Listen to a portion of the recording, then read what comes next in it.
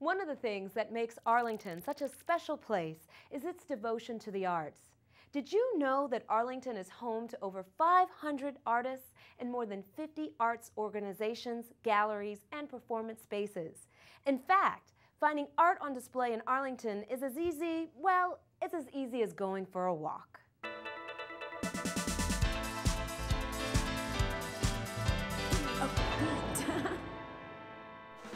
Here we are in Rosslyn, a very big and bustling urban neighborhood in Arlington, Virginia, and this is where we have the highest concentration of public art in the county. And today we're going to start by looking at Dark Star Park, the cornerstone of Arlington's public art collection.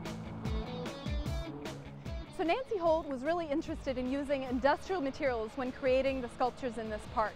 She not only used concrete tunnels, but also created these spheres out of um, a sprayable concrete called gunite. It's a huge gun that actually shoots the concrete onto a form and slowly dries as it's formed. Um, Nancy Holt's also really interested in celestial things, the sun and natural patterns.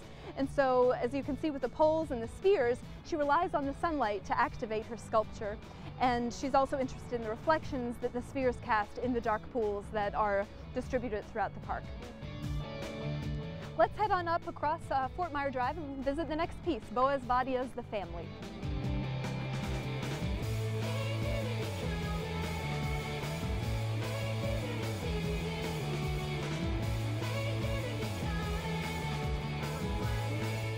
Here we are at 1300 North 17th Street where we have uh, an installation by New York City artist Boaz Vaadia. This was a piece that was paid for by a private developer negotiated through the site plan process.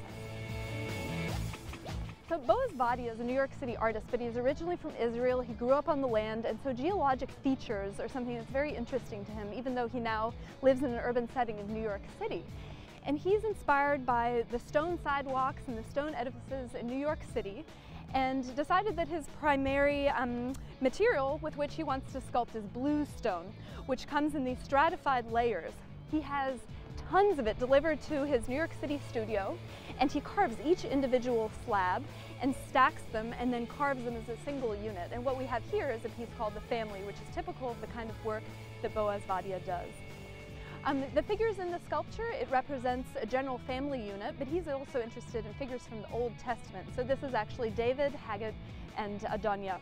If you look up close at the sculpture, you can see that there, um, there's a little bit of moss growing on it. Some of the stone through rain um, is starting to decay, but he sees this as, as part of the process. It's an outdoor piece exposed to light, wind, rain, um, visitors, the touch of the human hand. He doesn't mind that kind of change that comes naturally when a sculpture is exhibited outside, exposed to the elements. So now we're going to head up the street and look at one of the most popular public art pieces in the collection, Ned Kahn's Liquid Pixels.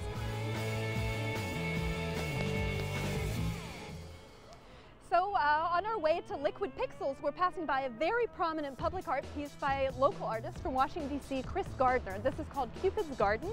He envisions this as the garden where Cupid grows his arrows and it was appropriately dedicated on Valentine's Day nearly 20 years ago. It's situated on a traffic island at the convergence of four different major streets so the inclusion of arrows is reminiscent of traffic signs and action activity that's really um, identifies this bustling neighborhood.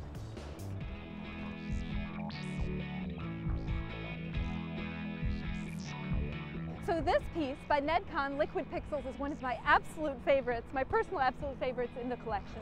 Ned Kahn is a California artist and he is really fascinated with natural patterns, wind and light in particular. And so this piece, without wind and light, really would not be activated. And when you take a look at it, you'll see it consists of hundreds of thousands of small little one inch uh, stainless steel discs that are on low friction hinges and so when the wind and light passes over it you actually see the wind patterns revealed so it's really mesmerizing you stare at it all day long. So one thing that a lot of people might not know is that Rosslyn was built on bedrock. So you'll see a lot of the garage is actually above ground, which is the case with this particular building.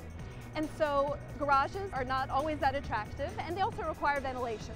This particular piece, Liquid Pixel, solves two problems. It's very attractive and it allows for ventilation of this parking garage.